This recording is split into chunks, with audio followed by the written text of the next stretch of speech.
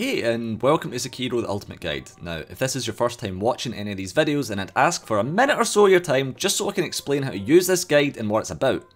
Essentially, this guide is entirely complete and it will help you get a full platinum for Sekiro. It covers all NPC quests that are relevant, all items, a best path through the game, and also specifically strategies to get you through the game with the path of least resistance. Remember that this guide is supposed to be used as a full guide, but you you can use it for specific areas if you need to, but if you're confused about how you know we are at a certain point or doing a certain thing, chances are the answer is in a previous episode. When it comes to boss battles, we really only show you the easiest method that we could find based on our perspective. If you want to fight the boss differently, it's up to you in this case to find a different and harder strategy. Now, if you have a good tip or have a question, leave them in the comments and I'll add them to a pinned post. That way this guide can constantly get better or more efficient. So if you have a question, check the pinned post first. If you do have a tip, please leave a timestamp so I can find the bit that you're talking about. Also, please bear in mind that this guide is taking me literally hundreds of hours to make, so if you enjoyed the video, the least you could do is give it a like. If you really enjoyed it, perhaps give us a sub. And if you really, really enjoyed it, you can support the channel on our Patreon if you're feeling generous, or perhaps sub to us on our Twitch, that's another good option. Now on to the guide. Hi guys and welcome back to Sekiro the Ultimate Guide and today is part 1 of uh, Fountainhead Palace and this is a, probably the longest area in the game. Definitely the longest area in the game. But before we do that, we're just going to go and upgrade one of our prosthetic tools. Now, this guy, Anayama, he does sell the upgrade materials, as we've already covered. Uh, we need like five scrap iron or something like that. And if he doesn't sell the upgrade materials, it's probably because you didn't send that dude on the right. Yeah. You need to send him to the merchant, and then he'll have the upgrade materials in his inventory for you to buy. Uh, so the thing is though is that chances are you probably already have tons of spare scrap iron and hence don't even need to spend the coins in order to buy the scrap iron. Um, if you've been sucking up all the items uh, using the square, the square button, you'll have probably plenty of spare scrap iron. Um, but just in case you don't, you can get the scrap iron off him. Now we're going to get the gouging top and... Which requires, unfortunately, upgrading the spear. Yeah, um, which the spear's almost useless. It frankly. is useless now because the ape's dead. there is no use for it at this uh, point. Uh, there's one very minor use. So we're going to the wedding cave, and this is how we get to Fountainhead Palace. It's not actually joined on any area. It's just like a kind of teleport join. Yeah, it's it's just there. Um, now the reason why we got the gouging top, it's not entirely necessary, but it's just a shuriken that deals more damage. And this there's like a one bit of like the next coming up area where it allows you to save on some emblems and just makes like one bit slightly easier. So you just go in a little hut thing and uh, it will teleport you here. A giant fucking rope tree monster. Yeah, watch the cutscene, it's kind of funny. It's um, kind of wacky. So coming up is a specific boss that is somewhat challenging, but there is a method to essentially uh, eliminate two of its uh, forms really, really easily. You can legitimately do phase one of it, and it is the corrupted monk, like the, the actual monk. Yeah. so its phantom form. There's a, a bit of a knack to doing this boss, and it requires a specific technique, which hopefully you'll be able to pick up on. So phase one, it is easy enough. You just have to learn to parry its attacks, and his attacks are fairly telegraphed to the point where parrying them isn't the biggest issue. But what you want to do is get round about this area of the bridge, under this kind of main branch towards the exit of the, the exit of like this kind of bridge area, yeah. So, uh, you can jump on the uh, the guy's head to do, or the, the, monk's head rather, to use, you know, from the sweeping attacks. If he does a sweep attack, you get to do the, the head jump, which fills a little bit of his posture. But that move is actually very, very relevant for how we need to defeat this monk guy. So essentially, once you defeat this monk's first form, um, he will teleport, and if you defeat him using a, like, when the, the little red orb comes up and you press R1, if you defeat him on the ground, he teleports in a different way from if you do a drop attack. Now, essentially, you have to just be very careful. You don't want to be dealing too much damage. You just want to make sure he's in the right position uh, and then you parry his attacks until you can max out his posture meter. Now, if you max out the posture meter and you don't get the head jump, specifically, don't hit him. you want to make sure that you're hitting the posture meter off his head. So you can max out the, the meter until it's almost there. You want the visceral to be an aerial attack Yeah. so that you can then do the rest of the fight this way. Yeah, because otherwise, if you do it like normal, he teleports too quickly and you can't just eliminate his second form. But for some reason, if you do the aerial attack, you can. So you'll see in a second, it is a bit finicky, but There it is. there. We maxed out the meter by jumping off his head, the press R1 in the air, and then quickly, quickly jump up to the on this branch, and then he'll then teleport to the middle of the stage. Now, if you were to do this on the ground, he would just immediately teleport and go into his second form. And he would immediately pick up the aggro, but because you're up in the tree during his teleport, he drops aggro. Yeah, now it is kinda Janky. Yeah, and it doesn't really make a whole lot of sense what we're saying unless you've kind of discovered it for yourself, but hopefully um, you can work out what we're saying. So what you do here is like the normal Corrupted Monk, you go, you put on the Fistful of Ash, and then you hit him two or three times, Fistful of Ash, and then you repeat that until he's essentially dead. Now you can also use the um, the, fi the Firecrackers as well, but this should be enough, maybe? I think I probably need to switch to the firecrackers. Either that or max out his uh, You'll posture. probably use one fang and blade just for some flash. Oh, I think we get there just off the. Yep, 10 fistful of ashes and 3 attacks in between. Yeah. There's a fistful of ash, 3 R1s, another fistful of ash, 3 R1s, and then just continue that. And that is how you do the monk. Now, I think I've got a little bit more footage of the monk coming up here just to kind of reiterate what we're saying. used to be able to skip stage 3 as well. Yeah, by it's true. just jumping on a branch and then aerial attacking him again. So I think this is uh, right. This is me showing you the difference between his animation here. So I've used the on the So he hops back and recovers immediately, but because you've done the aerial attack, he has to stand up to recover and that might break it. yeah. So again, I think this is me also doing it on the ground. Yeah. So if you do it on the ground, he like he immediately does this teleport into this form here, right? But if you do the jump on his head aerial attack, like what you saw us do initially, which I think uh, do it here, um, if you do it in the air, he teleports to the middle of the bridge and then goes into that weird ethereal phase. And that's like super important because teleporting into the middle of the bridge gives you the time to do the drop attack on him. So as you'll see here, right? He doesn't step back. So like, so he does step back, right? But he goes into the middle of the bridge first if you do the drop attack uh, by jumping on his head. But if you do it on the ground, he just immediately goes into the ethereal form. And that's the difference. So you have to do the drop attack on his head to be able to miss out his entire second form. And, um, but yeah, it just makes it so trivial. And as long as you do the drop attack, it even gives you enough time to get onto that branch. You, you saw there with that last uh, that last go at it, there was quite a lot of time uh, that it gave you. But you have no time at all if you just do the visceral on the ground. Um, if you don't skip the monk, his second form, he'll summon copies of himself throughout the fog. You just have to run around a lot, like slingshot between the trees, and you're probably fine.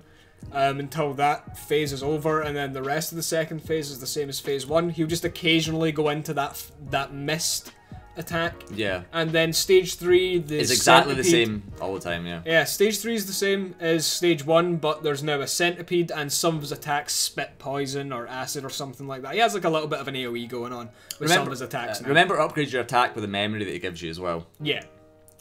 But uh, so hopefully that explained the monk boss well enough. Um, if anybody's having any issues with that, I'll try and explain it a bit better, like in a comment or whatever. But hopefully you got the gist of what we were saying there. Just make sure you get on the first form, you get the visceral via jump off his head. That's pretty much all you need to know.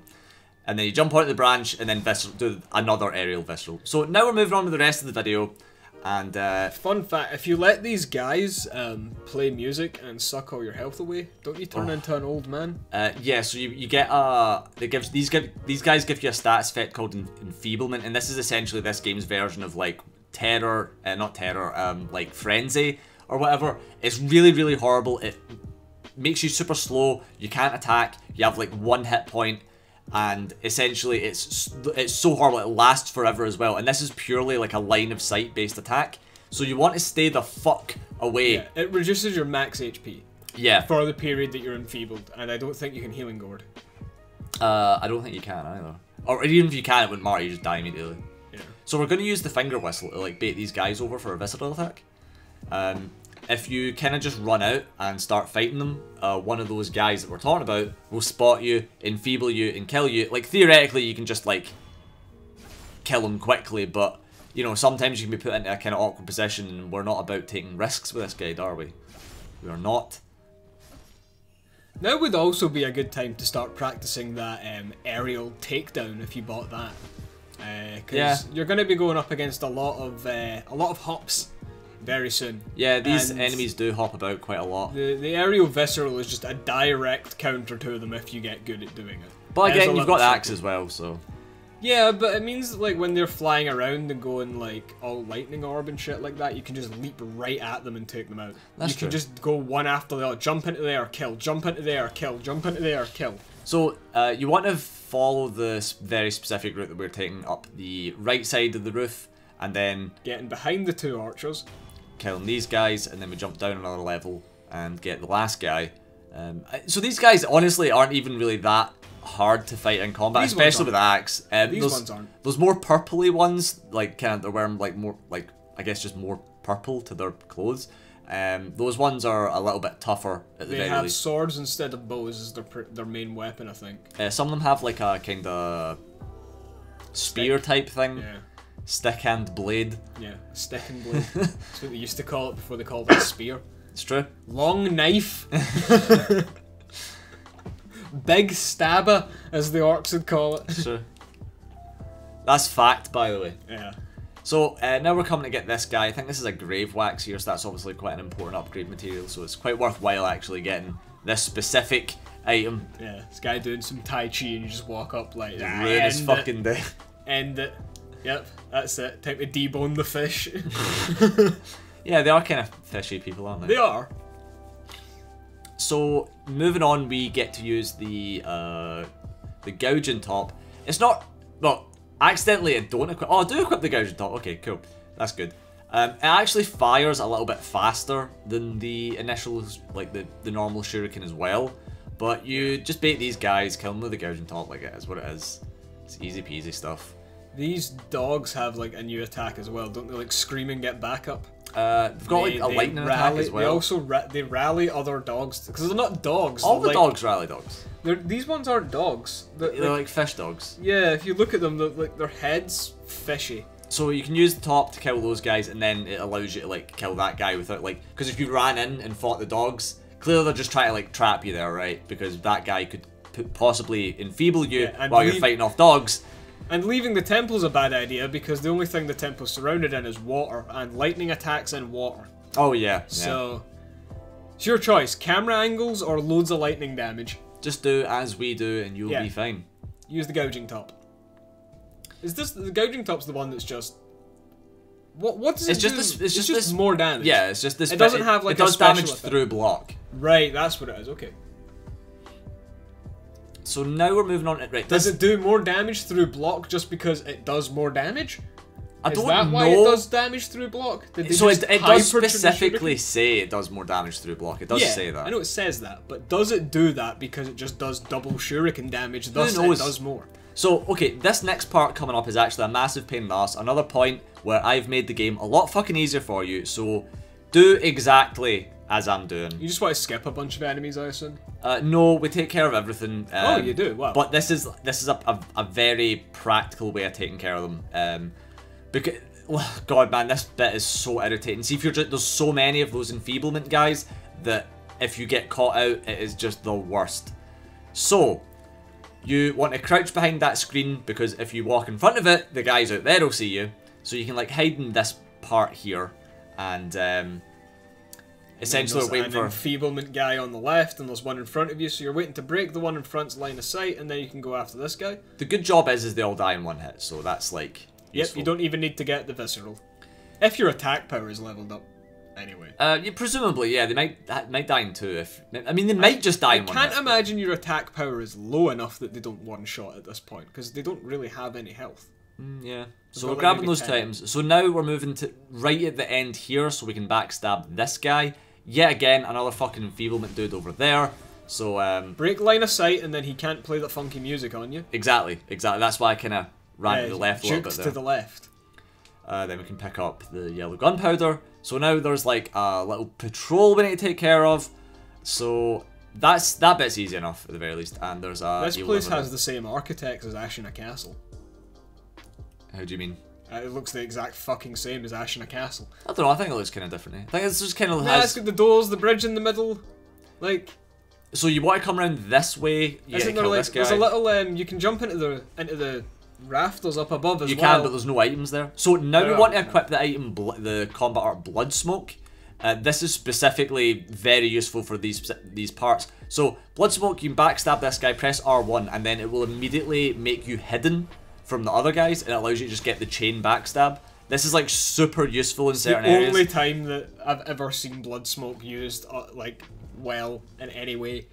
Most of the time, your like ninjutsus for after your visceral get ignored. It's actually required very, in this they're area. very situational. Apart from this area, blood smoke's Yeah. incredibly useful. So this was just to show you there's nothing in the rafters. I used puppeteer in this one when it came to the. Um, I think it was one of the guys on the outside because there's like a room where there's three of them just meditating in the middle, and there's a chest in it. I think.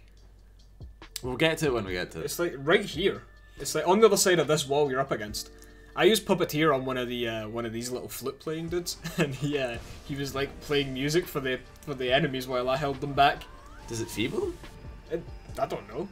He was just there, like So you want to. th- This guy is actually the biggest pain. Um, so you want to hit that guy and then like run to the end, and then go back and kill that guy. And you Get also want to, return. you also want to kill that guy before fighting this guy because if this guy just so happens to like you know you move in front of the door or whatever, it's just it's the biggest pain in the ass to get enfeebled. So you just want to take care of them first and foremost. So you know when he jumps up to hit you with the lightning, I'm pretty sure you can aerial kill him if you have the skill. Probably. You can leap towards him and just hit R1 before he even fires it out. So you might have noticed that we didn't really use any emblems for this particular part. That's on purpose because now is when we use the emblems. So use uh, your gouging top now to kill this guy from a distance.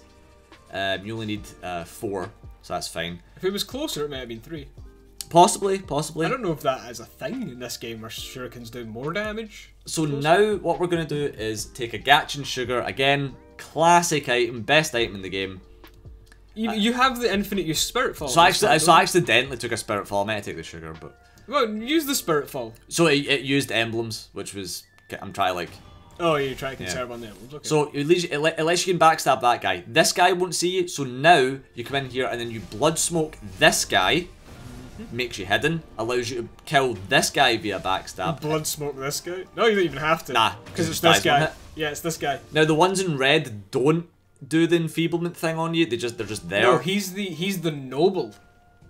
He's the one who. So they the lore behind this is that they give the water or something like that. They they feed all these people. They give all these people this shit to drink, and they they turn turn into that, fish yeah. servants. Yeah. And that's what Mibu Village is, because that's like all the water from this area is pouring down into there, and that's why they're all like begging for something to drink and shit like that, Yeah. because they're addicted to the water. They'll eventually become fish nobles as well. Well, oddly enough, that happens in like a quest that we're about to just do. Yeah. Um, so, but that is the bo- the most efficient way that I could find to take care of that full area. So hopefully that is uh, helpful for you. And there's another like mini boss back here, isn't there? The, Uh, yeah, it's another Ox boss. the Blazing Bull. Just total reskin. Aye. No, this one's purple. It's ethereal. You can do bonus damage with divine confetti. I mean, it is what it is. It's super easy. See if you visceral it without divine confetti. It only does half of its health bar, not its full health bar. Uh, no, that's that's not true. Yeah, it is. What the fuck? Wait, wait. So quickly take this uh, route here that we're showing, like this wide arc around this guy, because you want to kill the guys on the roof, because you don't want them shooting at you when you're doing the boss. I had done it. I done the aerial. I done an aerial visceral attack from above it, and it only took away half a health bar. So this is an interesting point to make for this particular for the the bull boss. Um, you apparently can like immediately like it's walking away and you can scare it and then like kill it immediately. But if it hasn't noticed you and you scare it, it just seems to glitch out for me, and chances are it'll be the same for you. And I've done this over and over again, and I could not get it to work. It would just freeze in midair until I hit it, and then it would just start the boss fight up. So we're just doing it legit here. Um, Uh, maybe you can look on YouTube and find someone else doing you it. can But visceral it from above using divine confetti. I'm 100% sure. If you break the line of sight, you can walk along the the top of the structure. Um, so like you want to get its aggro and leash it out of this corner, like round to where you're fighting it right now, and then you want to break line of sight with it and run the fuck away. And then while it's walking back down there, get back on that wall that you're on ab- up above it right now. You can from up there put on divine confetti and backstab it. Uh, not backstab, uh, visceral, and you'll kill it. okay, interesting.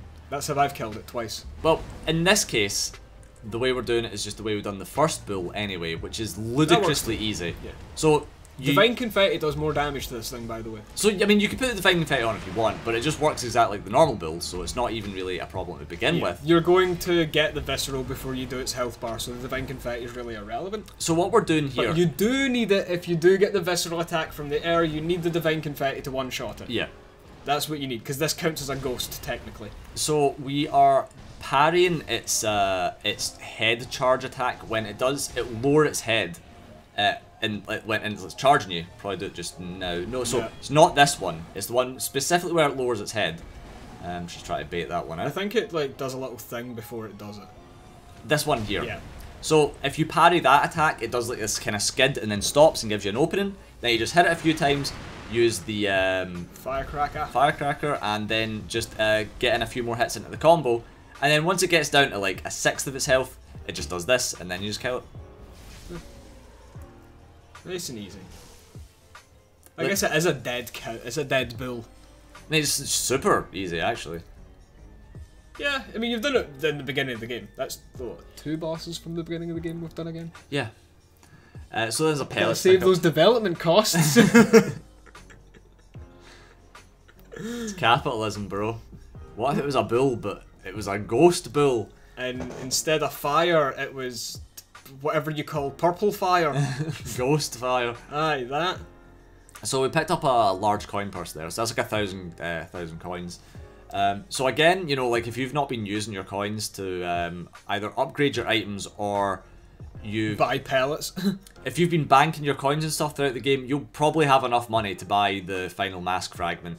So and then, yeah, any bonus skill points that you have, just bump it into your attack power if you don't want anything from the other skill pages. yeah, Although I'm pretty sure there are trophies tied to skill pages, aren't there? uh, no.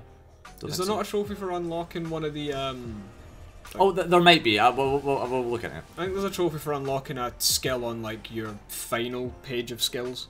So we're coming down here, like and there's this little hidden uh, place. This is the kind of final quest.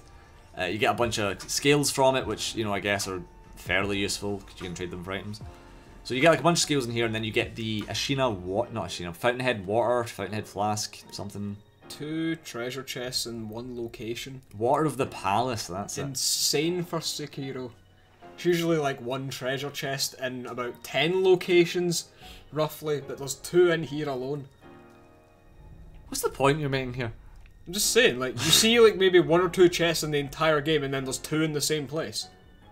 So Like, there's nothing, there's no items to pick up in this full game. so now we're going to the final Mibu village. Imagine it was a mimic. There's only one mimic, and it's just any one random chest. No, the real mimic was Sekiro because we all thought it was going to be like Dark Souls. God, you're It right. wasn't. The mimic was the friends we met along the way. so, uh, we need to come under this little bit again. And this is the guy that we spoke to earlier that was like... I can't remember if I do it here or if I actually done it in the guide. Point is, you don't even need to do it when you first meet this guy, but he's pretty much like, give me water. Yeah, so you give him water of the palace, and then next time you're here, he turns into a fishman, doesn't he? So he gives you some sake, so that's like another thing that you can like, remember, if you get any booze, you can give them NPCs and get some more dialogue off them if you want. So now you Or, you know, just read the wiki and keep all the sake for yourself. It'd be good if it gave you like drunken fist combat. I'd love that. Why isn't there a mod that lets Sekiro drink his sake? Aye, I know. I just get to everybody else. Fuck the sculptor, fuck Emma, fuck the lot of them. Mad Dragon Spring Sake. So we just homeward boned back, and then we are going to, uh, Uh, go back and kill Fishman, right? yeah, because we had to like rest or meet like a, a loading screen or whatever, and then it's just Son, I have some bad news. I'm a squid. yeah, he's become a fish noble. His clothes have also become noble. Uh, I mean, that's what he was wearing anyway, but So- it's just red robes like the ones in Fountainhead. So that's three carp scales right there, and that is it for part Not one of Fountainhead. half bad. Almost enough scales to make a full carp at this point. Almost. Yep. We've got tons of scales at That's what we're going to spend them on. But the scales are very useful because they get you um, some good items. So that is it for Fountainhead Part 1. Hopefully you found this uh, helpful. Hopefully you enjoyed it. And hopefully... Six skill points floating on that menu, by the way, doing nothing. Aye, look, we'll get to it. We'll get to the fucking skill points. Do you need right? them for anything? Or are people just free to burn them? Uh, Any I don't significant know. skills Um, necessary? If we don't spend the skill points, you don't spend the skill points. Alright then. You don't need them. You've got the axe. It's fine. It's, it's literally true, by the way. So, anyway, hopefully you enjoyed that part, and we'll see you in the next one. Catch you guys later.